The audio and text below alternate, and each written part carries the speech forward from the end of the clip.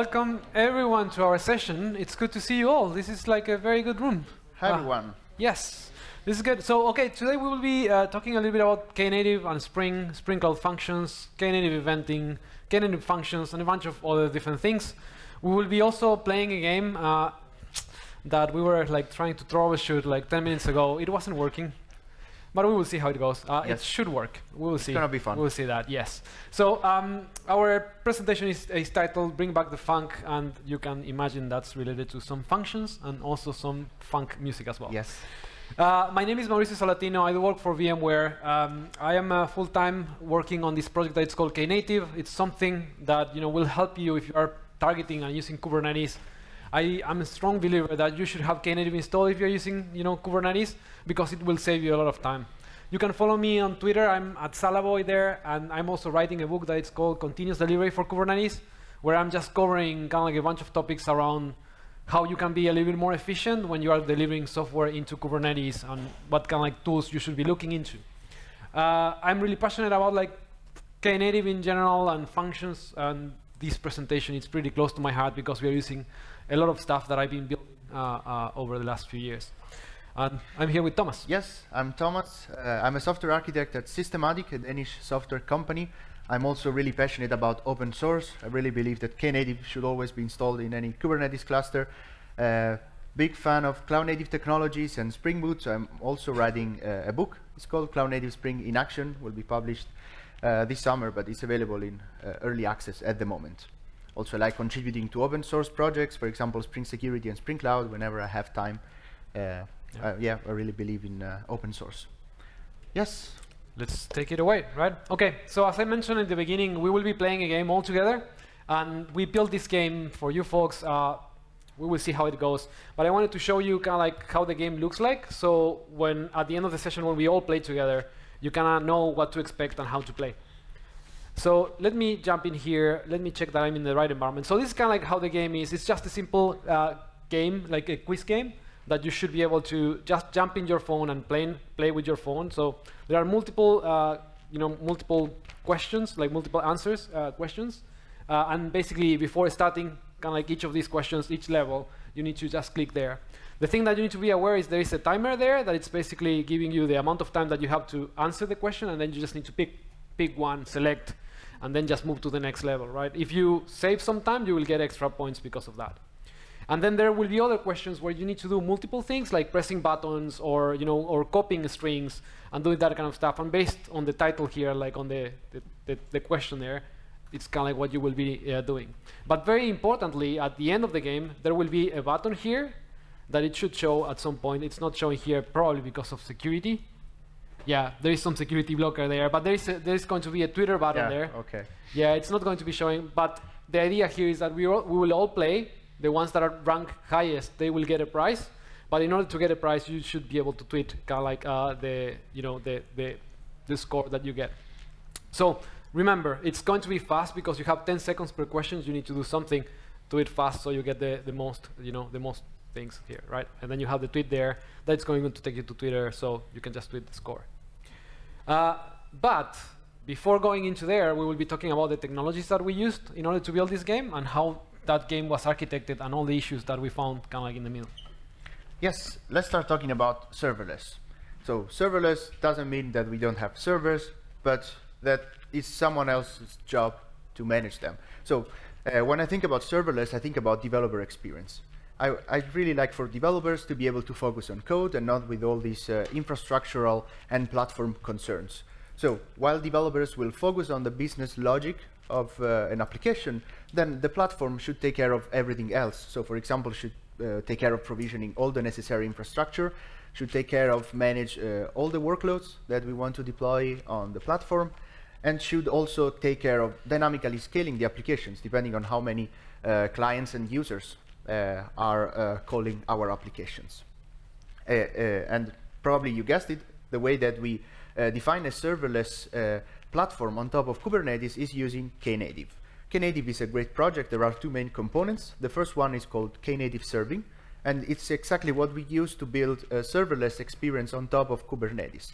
First of all, we get some more uh, developer-friendly abstractions. So instead of dealing with uh, low-level deployments, pods, replica sets, uh, ingresses, we get one single abstraction that uh, we can use in order to uh, really make the developer experience better. We have this from code to URL experience. So we really, that's our target. We want to get from our code to a URL of our service deployed in production without having to take care of all the intermediate steps. Of course, uh, we want auto-scaling in place, and uh, one of the main features of Knative is being able to deal with uh, scaling to zero. So that opens up a lot of possibilities, because if there's no request to handle, no event to process, then we don't want uh, to pay, for example, cloud resources to keep our applications up and running. So it's both for cost optimization uh, and in order to use our resources in a better way. We have, uh, on top of that, a possibility to adopt uh, very advanced uh, deployment strategies, progressive rollouts. We can uh, deploy our applications using blue-green deployments techniques. We can do canary releases, progressive delivery, all through the same single abstraction. So without uh, dealing with uh, low-level concerns in the platform. Everything is request-driven or event-driven. That's how uh, the auto-scaling happens. It's based on requests and events. And finally, this is cloud agnostic. So since we have uh, this component deployed in Kubernetes, then we can use Knative everywhere on every Kubernetes distribution. So we can use it on any cloud, public cloud, or running locally, cloud agnostic. Let me ask a question. How many people here like knows Knative? Like knew about the project before? Okay, how many are using it? Like not so many. We have a couple. That's how many using great. Kubernetes? you can save some time, folks. Come on. Yes. Let's do it. Yes. Yeah. So before getting there, uh, Knative serving uh, Knative serving deals with containers. So we are building a kind of container as a service experience. Mm -hmm. So we need to provide a container image. Again, as a developer, I don't want to deal with, for example, writing a Docker file and maintain it. I want some automation there. And, and probably from the operation point of view, the platform engineer, we want to make sure that developers don't make mistakes and use proper uh, containerization techniques in terms of uh, security, performance, and all of that. We can do that using Cloud Native build packs. This is a project, it's a specification to convert application source code into production-ready container images. So we're gonna use, together with Knative, build packs in order to convert our code to a container image. And I guess we can uh, check a demo right now. So I have built a very simple Spring Boot application. You can see it here, just returning uh, a message. Welcome to Barcelona. Mm -hmm. So I have already containerized it. So let's check the Knative part first. I have uh, an image pushed on my uh, container registry on GitHub. So what I can do is using the Knative CLI, KN, and do service create. I define a name, web service, and then I need to specify uh, the image. It's on GitHub container registry, yes, slash spring.io slash web service. And that's it. So it looks like uh, a Docker experience here from a developer point of view. I'm just specifying an image. I allow the connection. And now Knative does all the rest under the hood. So under the hood, uh, we still have deployments, pods, replica sets, ingresses, all the standard Kubernetes resources. But now it's not me dealing with that, it's Knative. And you can see that I get a URL back that I can call. So I can send an HTTP request to that URL that's in the public cloud, and I call my application. So as a developer, really, I, I didn't even have to think about Kubernetes. I just provide a container image, and it's deployed. But the container image, again, I don't want to uh, write a Docker file and spend too much time creating that. And I can do that with buildpacks instead. Buildpacks, there are different ways to interact with buildpacks. One way is using the uh, pack CLI. I can specify a builder image and containerize the application here. But uh, you probably uh, know about the integration of buildpacks within Spring Boot. Need to and make it bigger, yeah. Yes, we can yeah. do it from here. So for example, using Gradle, I can call the boot build image task, and under the hood, it will use buildpacks and produce a container image. In Maven, uh, there's a similar command. Mm -hmm. So it's very convenient with the pack CLI, but with Spring Boot, it's even more convenient because I don't have to install anything extra. It's just there with uh, the Gradle or Maven plugin for Spring. So what we achieve at this point is uh, this kind of experience. We have a project, and by the way, this is a polyglot uh, strategy. So we are using Spring Boot, but we could do the same with Go, with .NET, with uh, any other language or framework. Mm -hmm. We use uh, build packs directly via the pack CLI, or in Spring Boot, we have this convenient uh, integration within the Gradle and Maven plugins. We get a container image. Mm -hmm. With Knative, we uh, use the Knative CLI to do the deployment. And finally, we get the image deployed in Kubernetes, and we get the URL back which is really, really convenient. And if you're, if you're wondering what is happening under the hood, so what is the KN CLI doing, I can show you the result, this developer-friendly abstraction that I mentioned earlier. It's a few lines of YAML code, which basically contains the same information I defined in the CLI. I have the image, I have the container port, and that's it. And this is a Knative service. It's called a service, so don't don't confuse it with the Kubernetes service. So they're called the same, but uh, this is a different resource. And it's the abstraction that, as a developer, I'm interested in. I don't want to know about ingress, deployments, and all the lower level abstractions. Mm -hmm. Yes? So we can use this strategy for any kind of containerized workload, for any kind of application. But since we are using Knative now and we're building this serverless experience, we can also start talking about functions, right? Let's do it. Yeah. So when we start talking about functions, then we are basically changing a little bit the paradigm, right? Like Thomas just showed that you can start with a container and then just deploy it to Knative and that will work. And by the way, when you deploy things to Knative, by default, it will try to auto-scale that to zero if nobody's using it. But you can change that. That's not the, the only behavior that you have. You can have like a minimum set of replicas all the time. You can also create like a maximum set of replicas so your application knows that it can scale, but also you know up to a certain point, not until it blows up. Uh, but when you are dealing with functions, you are dealing with a different programming model, right? And what we wanted to show you here is how you can use Knative and something that we are building now in the Knative community that it's called Knative functions. Just to be able to build this kind of like entire experience, not only on the Kubernetes cluster side, but also on the developer side as well.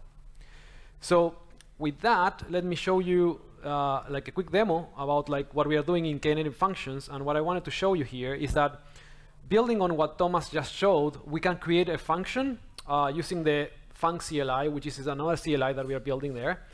Uh, and I will just create a directory here that it's called func, spring.io func, because it doesn't exist, right? That's yeah. true. Yeah first create, then cd, right? Uh, func. Okay, so let's create a function. I can create a function. Uh, and then what I can do is I can do func create. So this is the new CLI that I was mentioning that we're building in the Knative community. And what you do is basically you choose the language that you want to use. Again, we are using build packs internally here just to be able to create functions in any language we want. I can use Spring Boot, I can use Go, uh, and I can choose uh, between a different number of kind of like templates. In this case, I'm using like an HTTP template. So basically, I'm building a function that is going to be using HTTP uh, in order to in just to interact. Like if I want to call the function, I will just send an HTTP request. So and then the next thing that I can do is I can do func deploy. Again, I just scaffolded the project with the function in it. We will take a look in uh, into that in a bit. But I will just hit deploy here. So uh, we start building the function and uh, deploying it into a cluster. This is GitHub container registry.io. I need to use Thomas. That's it? Yes. There you go. So basically what this is going to do is it's going to build the project that I've just created, but let's take a look into the project now. Uh, and I just want to show here that it's just a simple, let's open this into IDEA. It's just a simple, you know, function in Java. Uh, and that was basically created by this func CLI based on a template that we have in there. So with func, in this case, we can go from we can go from just creating the project to building the project and deploying the, uh, the project here into my Knative cluster. Uh, that's also using build packs. Again, we can build these functions in any language. I can create like a Go function using the same command, basically func create, just choosing a different language, and even choosing different templates, right? And in this case, we have a simple, you know, Java function. We're using Spring Cloud functions that Thomas is going to go deeper into that in a bit. Uh, that is basically uh, doing an uppercase in this case of the string that, that we will send, right? So what I'm expecting after like the deploy finishes is to be able to have this function deployed in my Knative cluster, automatically being scaled up and down up to zero. Uh, and I should be able to also have a URL to interact with that function at the end of the, of the process, right? So let me go back to the terminal here. We should be able to see that this is building something. Uh, because it's using Maven and it's also building, I think it's building a native image, it might be building a native image. It might take some time to finish, but the main idea here that we wanted to share is that you can just create a function pretty quickly, uh, allowing, allowing your developers to get started with that pretty fast. And then when you're not building kind of like hello world functions like this one that is just doing an uppercase, this is kind of like where you're going to put your function logic. Remember, when we are building functions, we are changing a little bit the way that we uh, design our solutions and you are building things that are a little bit more, um, you know, more autonomous, more smaller, basically. They are just not fully fledged REST services. They are just more simple in nature. Usually functions are triggered by requests of events or events, right? Like we can have functions that basically react to events that are happening in the infrastructure. And again, as developers, we actually don't care who is calling our function. We only care about the business logic that we have in that function and the services that we need to interact with in order to do that logic. They, are, they tend to be very stateless, and that's also related with the fact that the platform is going to be managing them when they are being scaled up and down. You need to think when you're building, when you're coding functions that you shouldn't be keeping a state in there because, again, the platform will just probably shut the function down and the state will be lost. So usually you will use like an external storage. Uh, functions are smaller. That basically means also that they are easy to test because you can actually write the unit test for it. And you will not end up like building a lot of integration tests with functions unless you have a bunch of functions together that you want to test and uh, verify the behavior there. You will see that when you start looking and reading about like function-based or functional programming in, in, the, in the context of multiple functions working together as a distributed system, cold start is a big part uh, for the, it's a big thing that the platform needs to take care of. The idea here is that when you build functions, you need to make sure that the functions can start pretty fast, right? Because the platform will be upscaling, will be you know, creating new instances of the function, and the idea is that the one that is sending the request shouldn't be waiting too much for the function to get started and then just get the response back. And of course, cost optimization, something that Thomas already mentioned, right? Like the fact that we can scale down to zero and scale up whenever we, we have demand, it's pretty important. When you think about functions, again, there are like a bunch of different patterns on how you interact with functions, and based on that is kind of like the tools that you will be using in order to implement the function logic, and the tools that you will be using to wire function together, right? So you have on the synchronous on the synchronous side of things, uh, like the idea that you can have a function that will perform an operation, but you are not interested in the response, right? Or maybe you will be calling a function and you are interested in the things that the function is calculating. So you will need to wait the function to finish the calculation to get the response back.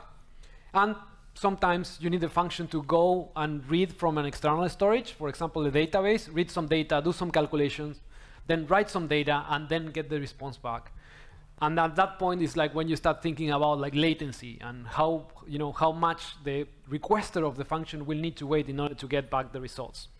And when that becomes a problem, switching a little bit more to asynchronous uh, mode, it makes a lot of sense. So building asynchronous functions, it, it is a whole thing, and it's a thing that you need to have in mind when you are like analyzing the frameworks that you're using to build these functions. Uh, and, and that takes you also to like event-driven functions. The idea that, again, you have a function that is receiving an event and probably emitting an event out, and that takes you to these scenarios where like functions can be reacting to events that are happening in the platform that can be created by different things. Like, you know, you can be reacting, a function can be reacting to an event that it's coming from Slack, but when you design the function, you don't actually know who is going to be calling that. And you ended up like chaining these different, you know, functions together by just making sure that you expose to the platform which events the functions is consuming and which events the, the function is basically emitting when it's finishing. Uh, the Knative Functions project, it's pretty, it's pretty new. It allows you to create functions based on different templates that can be also located into your own repositories. So the idea of starting with a function from scratch can be you know, extended a bit further. So if you have specific scenarios with very specific dependencies for your functions, you can create your your own repository templates. It does work with multiple languages and frameworks. You can check all the list of languages. It's pretty much everything that you can think of, and you can add your own as well. Uh, something that I didn't show here, I did like func create to scaffold the project and then func deploy. Func deploy, it's basically building and containerizing the function using build packs, but you can also run the function locally if you want to play with it uh, instead of just deploying it to a Kubernetes cluster. And we have something else there, like in the community, that it's called on cluster build, where the idea is that you as a developer building in your laptop, you don't even need to have Docker installed in order to work with functions. You can just code in your language of choice using Java or Go or whatever. And then when you do deploy the same command that I executed, it will just build the function in the, in the remote cluster instead of building it locally. That allows like some scenarios that we face kind of like quite often that you know people have very restricted you know capabilities in their laptops and having no Docker is, is one of those. And we are actively working on the 1.ga version for this project. So if you want to contribute, this is the perfect time, right? I know that I have a bunch of Spring folks here, and uh, we have all the Spring templates, and there are a bunch of other things that we can be doing there. So if you want to contribute to an open source project that is, you know, a polyglot project, feel free to reach out because I'm, I'm really interested in, in helping people to get started with that process. Before I jump to that, let's see if the function actually got deployed. Probably not. Don't know what's happening. It's just there. Yeah. So connection or something. Probably. Yeah. But believe me, at the end of the process, you will get the function deployed. We will show more advanced functions when we play the game. So if the game works, that's the other thing, right? So just a quick recap, like of what we have been seeing here is we used like a command uh, func create to create a project. In this case, using Spring Boot. Uh, we did func deploy, which is going to use build packs to create a container image and to deploy it to Knative in this case, to, and then we will have like the function running in there as a container, right? And again, we show the most basic example here where we have a single function into a container here. So we have a one function in a container, but we can have more. And then at the end of the process, we should get it back a URL. We can check that later if that's the case, right? But now Thomas is going to show a little Yes. bit more about the Spring side of things. Why is that stuck there? That's a good question. Yeah, interesting. Yeah, so let's talk about more uh, how to implement functions in uh, Spring. So how many of you have used Spring Cloud Function before? Cool. Some Cool, people. Nice. Yes, so we're going to look into that now. Uh, and uh, uh, the first problem we need to solve the, is the cold start problem. That is one of the features that we need in a uh, function because we have this uh, scaling to zero capability. When a request arrives, a container needs to be up and running in uh, almost instantaneously. And uh, you probably already heard about this uh, in some previous talks, both today and yesterday. But Spring Native provides a solution for that in uh, Spring Boot 2.x, and then it will be fully uh, part of the Spring Core framework since uh, the next major version. But with Spring Native, we can compile our Spring Boot applications as native executables using GraalVM. So we get very interesting uh, features for a serverless scenario. We get instant, uh, almost instant, instant startup time. That's really important because uh, if there's no uh, containers uh, running and then a request arrives, we don't want the user to wait a few seconds before getting a response back. We also want to have instant peak performance. So once the application is up, you should uh, be able to reply with very high performance right away without waiting for some warm-up uh, step at the beginning. And also we get some reduced memory consumption. We also like this because uh, with auto-scaling, it's very easy to uh, consume a lot of resources in case we have a lot of users and clients concurrently. So it's important to try to reduce also uh, the memory footprint of our applications. Of course, there's no silver bullet. Uh, we have some trade-offs here. So we get these benefits, but we also get a slower and heavier build process. Uh, the GraalVM compiler is getting better and better with new versions, but still it takes more. Instead of waiting a couple of seconds for the application to compile, maybe you have to wait a minute or two. And that's why we, when using uh, GraalVM, we usually let the uh, CI pipeline deal with that. So locally we work with on the JVM, and then the pipeline takes care of building the native image. And the other thing is that there are fewer runtime optimizations because GraalVM, what it does is that it moves uh, a lot of the things that uh, the JVM does at runtime, it moves them at build time. And making decisions at build time is uh, more restricted because you don't have all the information that you have in runtime about how the application is executing and what code uh, is called.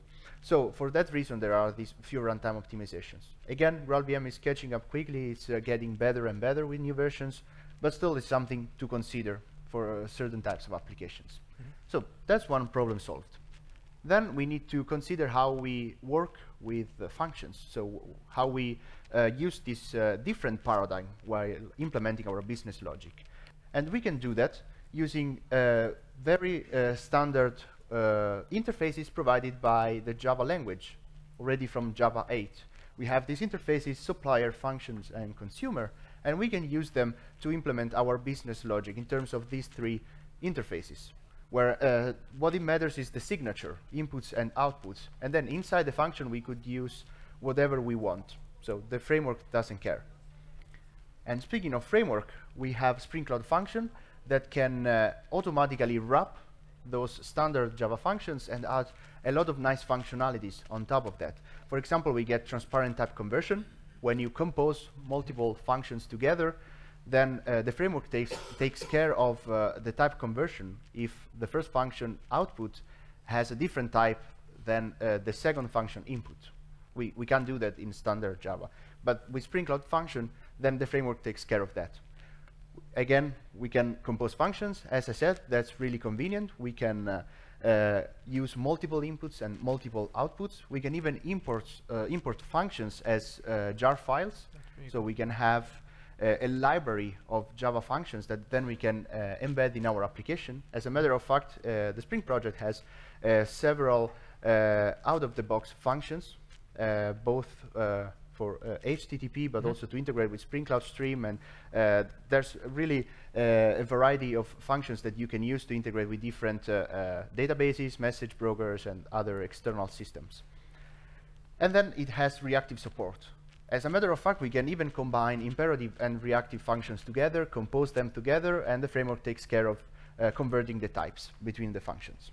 So let's do a demo now. So you saw how to bootstrap a project using the Func CLI. Mm -hmm. uh, now we'll use uh, a different way. We'll go to start.spring.io. And from here, I'll create a new Gradle project. Uh, Spring Boot 2.7, Java 17, and the only uh, dependency I need is Spring Cloud function. I have already opened the project in my IDE. So yeah, there it is. No, that's mine. No, that's yours. That yes. That's the we have a web function project. So you can see it's a standard Spring Boot application with a logger. We'll use it to uh, control what is happening under the hood. So at this point, let me get more space there. At this point, I want to implement the following business logic. I want to provide uh, as input the name of a musical instrument. I play the piano, so piano. Then I want to convert the instrument to uppercase. And finally, I want to build a sentence like, I play the piano. And I will implement this business logic using two functions. The first function will take care of converting the instrument to uppercase, the second function to build the sentence. And just because I can, the first function will be imperative and the second reactive. So let's start. I'm using a standard Java interface for defining the functions. We have input and output that are strings, uppercase. Let's import the function there. Yes. And then we have the instrument as input. For the outputs, first I want to log a message converting to uppercase and then we return the same string converted to uppercase. That's my first function. Then the second part of the business logic is another function. This time I want to make it reactive, so I'll use a mono of string. A mono is a reactive uh, uh, type, which means at most one value, so you can compare it probably with an optional. So we have two, uh, two interfaces, two APIs in Reactive Spring. We have Mono and Flux. Mono is for at most one value, and Flux is for uh, a collection of values that will arrive eventually if and when available, because it's all asynchronous. So I'll have mono of string in input and mono of string in output. And this is to build a sentence. So we get this uh, mono object as input. And what I'm going to do here is to map the instrument that we Mhm. get. And first I want to log a message once again, building sentence with and the instrument. And then I return um, I play the space and the instrument. There you go.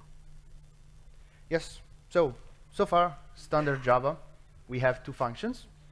Now, in order to uh, trigger all the nice uh, features provided by Spring Cloud Function, the only thing I need to do here is uh, uh, mark them as beans.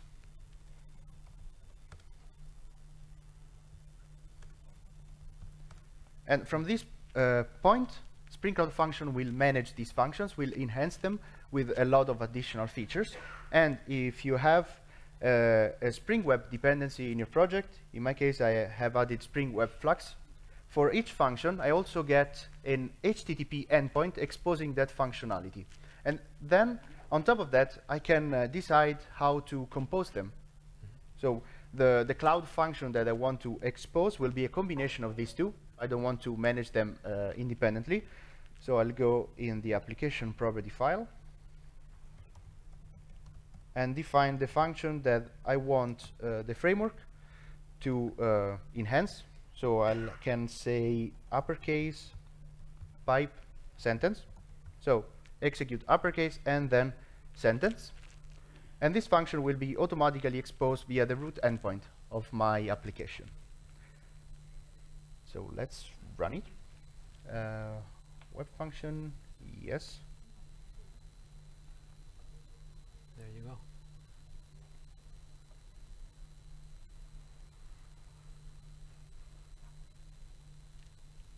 And of course, since uh, we are working with serverless, we can use Spring Native to make it a native image. Now that we have it, so let's do it here that is bigger. Yeah, I think that that's that- that's- I yeah, don't know what plug with there. some timeout. yeah. Yeah, but so now I can uh, I'll use HTTP. I send the request to 8080 root endpoint. That's where my function is exposed by the framework. And I need to specify uh, the name of a musical instrument. So I'll uh, pass piano here and pipe. And then I get the response back. I play the piano.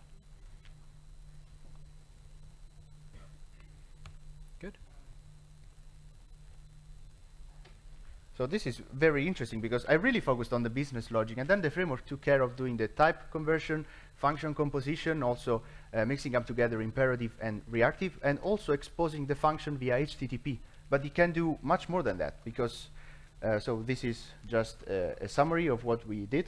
This data processing, we can compose together a lot of different functions. But the interesting part is that once we have the business logic as standard functions, then we can uh, uh, expose them or deploy them in different platforms and using different strategies without changing our code, but just relying on the Spring Cloud Function framework. So for example, we can have uh, some adapters that are available in the Spring Cloud Function project and deploy those functions on Azure Functions, AWS Lambda, and Google Cloud Function. Or perhaps, and this is Yeah. what we are doing today, uh, we can just containerize in a standard way the function with build packs and deploy it on uh, Knative, on Kubernetes. And we can even uh, uh, trigger the, the functions not just via HTTP, but perhaps using some event-driven strategies. We'll see very soon about cloud events, how we can uh, use cloud events in order to trigger and consume our functions. And it doesn't even have to be HTTP. For example, RSocket, it's a reactive binary protocol, can be used to deliver uh, and trigger uh, these functions. And we'll see that later too, because we are using also RSocket in Mhm. our architecture. Yep. Yes. Good. Uh, yep. Do you want Yes. to do the events part? First, Uh, yeah. Yes, just a quick uh, overview of cloud events, Mhm. and then we'll see some some code about that. Because, Perfect. of course, we're talking about serverless. We talked about functions, synchronous functions.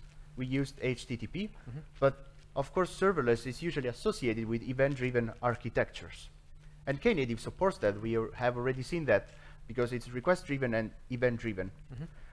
But the first problem, considering the cloud and considering the polyglot experience that we want to have, so supporting different languages and frameworks, we need a standard way of exchanging and transferring these events across our infrastructure, considering that we're going to have different technologies uh, and different languages in place. And one standard way of doing that is via cloud events. So a cloud event is uh, it's a data format, it's not a protocol. It's just a data format, defines some metadata.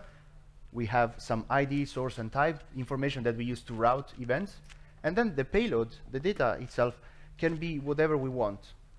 It can be a, a JSON object. You can even wrap AMQP messages or Kafka in order to achieve this uh, uh, standard way of exchanging data. And there perhaps some part of your system is using RabbitMQ, some part of the system is, is using Kafka. And at that point, we also need a solution uh, in order to make those subsystems interact. And we'll see that in a Yes. bit. But first, let's uh, dive deeper into cloud events. Le- let's take a look. Let's take a look at that. Like something that Thomas just showed is that he created a function using Spring Cloud Functions, right? And the thing that I wanted to show here is that uh, we can take that uh, a step further into uh, using another func. Oh, it's not there. All right. So I Yes. switch. Yeah. So if I switch to routing, I guess I think that we can do it here, right? Like, oh, okay. So I think that the the thing that I wanted to show here is that even if we have, oh, not there here. Let's do it here. So even if we have like a function that you can call by using, you know, just the standard like HTTP request, what you can do now is also something that Spring Cloud Function is providing is you can send a, a, a cloud event here, and I think that you can do that by just adding the C type, right? C type Column. colon, and that's uh, what's the name? Yeah, nothing here. Yeah, so uh, do sentence. I think let's try that. Uh, yeah, an ID, C ID. In general, what we talk when we talk about cloud events, we talk about this generic format that you can use in different languages uh, to um, just to share data about events. And basically, what we are trying to show here is that we can encode this request as a cloud event to interact with the function. And in the same way that we are doing it with HTTP here, we can be doing it with the RabbitMQ message, or even with the Kafka message, or with the cloud provider specific message of format. Yeah, in the case of HTTP, we use HTTP headers to Yeah. provide the metadata of the cloud event and the request body to pass the payload of the event. Yep. Yeah. Exactly. So when I send this, right, like when I send this cloud event, what I'm getting back from it, it's another cloud event as a response.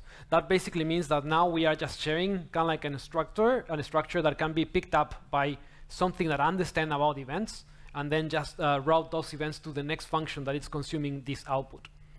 Uh, just to move things forward, right? Like what I have here is I have uh, the same functions that you know uh, that Thomas defined, like this, the uppercase function and the sentence function. But what I did is I created like I added some other things in here. Where is it? Yeah, the Here. Yeah, this is routing. So let me show. Uh, let me switch to Uh, the Uh, force. force checkout. Let's do that. And basically what I have here is just a simple configuration. So instead of piping the functions as Thomas did before, what I just changed that I'm going to use the function router here, and I'm going to use the type of the event in order to route to different functions. So now I have a single project, a Spring Cloud Function projects with two functions in there. And what I want to do is I want to send different cloud event types, and the different types will be routed to the different functions. And again, this will allow me to create like more complex compositions where we can have multiple functions defined in the same container. There is no need for having a function per container. You can have multiple functions per container and then use the function router in order to route different cloud events to different functions. So if I stop the application, Yeah, and readme. Yes. Uh, so basically, what we can do is we can send of like different types in this case. So I can send you know a cloud event with uppercase type in this case. That's the type of the cloud event, and then Spring Cloud Functions will understand how to route this cloud event to a specific function. And the same with the second one, that it's sentence. This is going to route that specific cloud event to the second function that it's defining there. And we can show that if we stop the application. Can you stop it and run it again? Yes, thank you. It's not my laptop. Sorry. Like and he has a Danish keyword, so it makes it really complicated. but I think I mean, we're talking about polyglot experience. it's a so we polyglot experience. different That's it. right? Let's do it.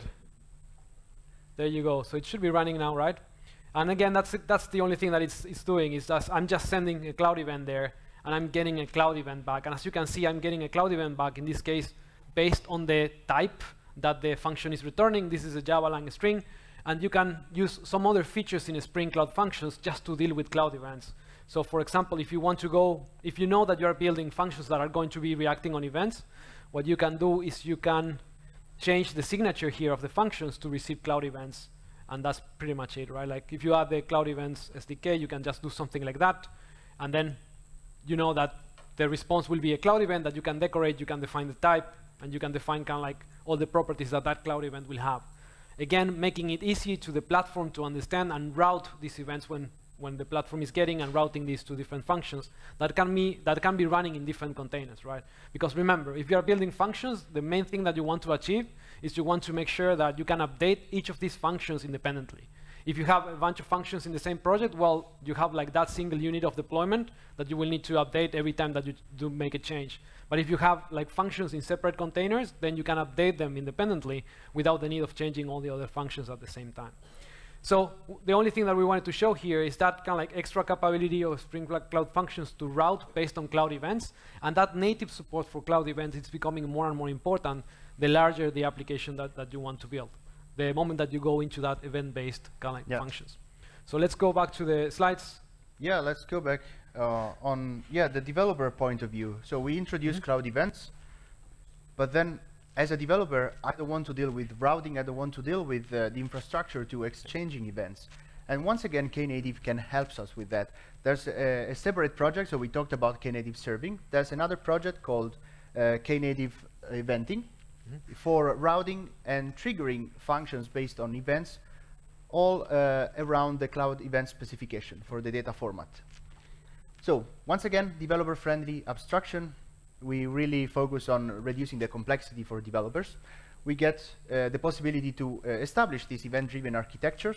So we have serverless and event-driven. So we can build functions synchronous and asynchronous. Event routing, that's uh, handled by uh, the project itself. We have po this polyglot support with cloud events. So we have this uh, agreed upon standard that we Mhm. can use in different languages and frameworks. It's pluggable. So as I said earlier, per perhaps in your system, some part of your system is using RabbitMQ, some part is using Kafka. The, you can plug both of them in Knative eventing. And then the, uh, from the developer point of view, you just exchange cloud events. But then uh, under the hood, there is a RabbitMQ instance that does uh, the work or Kafka, or you can even get events from Twitter. Maybe you're uh, listening to some Twitter hashtag or uh, a Slack, getting notifications from Slack as cloud events and then route them throughout your architecture. By the way, GitHub just emit cloud events nowadays. So if you hook to GitHub kind of like webhooks, you can just get cloud events out of the box and then route those things into your systems. And yeah, once again, it's cloud agnostic. This is uh, built on top of Kubernetes. So on any Kubernetes distribution, you can install it. So at this point in the cluster, we have some extra uh, entities. We have a broker, which is an abstraction provided by Knative Eventing. The event sources, so you can have RabbitMQ there, Kafka, you can have Twitter, and then the triggers are those that uh, uh, route events to the functions using cloud events. And then all our experience as developers is the same. We have uh, the Func CLI we can use also to define a trigger, we deploy, and we get the URL back. Perfect. So Yeah. let's go So back to the game now. Let's talk a little bit about the game architecture. We have like few minutes left, so we will need to go fast. We built this uh, game in order to show this idea of having like different functions do doing different things. And the game is basically built with this like start game. So every time that you want to start playing, you will just call a function that will create like a session for your user. And then each question is implemented in a different function that basically evaluates the inputs that you are sending, right? Like the, the you know the answers that you are selecting. All that is going to Redis in a synchronous fashion. So basically, the game front end has all the logic to define which function to call next based on the level that you are. And then the game front end will need to wait for the function to go and store data into Redis in order to get the score back and send that back to the user. So it's a synchronous interaction, and you will see the more operations that you want to do here, the more time that it will take to go the, the whole way, right? And to get the data, the more like, you know, you need to wait, and depending on the logic, sometimes that's not feasible. It's important to notice here that the idea of dealing kind of like of using Knative as a platform to run these kind of applications is that when nobody's playing level one or level five or whatever, there are no containers running in there because there is no need for a container to be running to for that level specifically. When people start playing, Knative is going to start scaling up that, and if there is a lot of demand, Knative will create more replicas to deal with, with that demand, basically, on, based on requests. And it's important to understand that there is kind of like that orchestrator there that will contain the business logic on how to uh, you know, connect to different level functions depending on, on the level that you are playing with. And we have a React application on the client side that basically means that, again, we will need to be able to expose a single entry point here. We are using kind of like that game orchestrator as a single entry point for the client side code to hit you know, the backend, and then the backend will redistribute to the different functions. This is all running in Google Cloud. It's running in a live cluster there, and we will, play, we will be playing against that environment. But again, as I mentioned before, this is all synchronous interactions, and that had a lot of limits, right? So you can enhance kind of like this architecture by using events and using cloud events and using Knative eventing, right? What we are doing in the levels now is that every time we have a flag there that basically if we turn it on, it will emit like the score into the broker. So it will calculate the score for that level and then it will emit that cloud event to the broker. And it will actually not wait for writing that in Redis, it will emit just the cloud event. And this allows us to route the cloud event to different components. We can just send it to, for example, like an audit trail or other functions that are doing other calculations. But what we are doing here is we are sending it back to the front end, so then we can send it back to the client side. So we can start building these more reactive applications that have more interaction with the end user, and we will be seeing how can like this uh, translate into notifications basically every time that you complete a level in the application. Yes. So I think that it's time Let's just have some fun. let's have some fun and let's let's let's play. Should we change the URL first? So before showing that, let's uh, let's apply the change. Oh, yes. Yep. We need to do something first. And this is, Lisa, apologize because we have been building kind of like a game specifically for you, but we were hitting some netty issues this morning. And I wonder why. Yeah. Uh, we will need to troubleshoot that later, so you will be playing, you know, a version of the game. It's not the final one, and we will keep improving that uh, the more we play. So if you scan that, you can start playing. Hopefully, it works. If it blows up, that's also. it is not working, so we have people saying that it's, It's not working. Yeah. So Can you try again? And we, when we play, we will have Thomas, you know, playing the keyboards. let's how it. There you go. Is it working? No? So we have one person saying that it's not.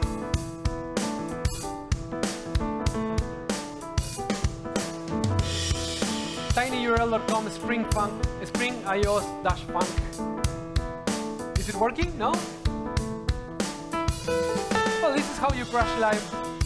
And when we show this, I would say that the URL is correct. Go here.